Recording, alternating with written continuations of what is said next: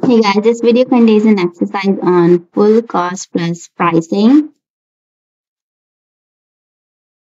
So what is full cost plus pricing?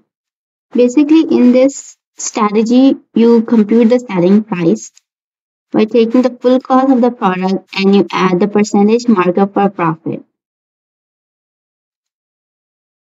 So we have this company that plans to have yearly output of 500 units at a variable cost of $5 per unit and fixed cost of $50. The company wants 30% markup for profit. So we need to find out the full cost plus selling price for the product.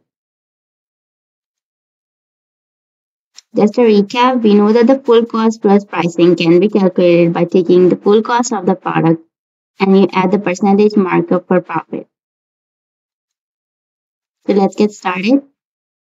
First, we need to find out the full cost of the product, which is based off fixed cost and the variable cost. First, uh, let's calculate the fixed cost. Fixed cost can be calculated by taking the fixed cost of $50 and we divide it by the yearly output of 500 units, right here, to get the 10 cent per unit fixed cost. We know the variable cost is $5 per unit right here. So you add the $5 and the 10 cents together. Total full cost of the product is $5.10 per unit. Last step is to add up the percentage markup for the profit to the full cost of the product.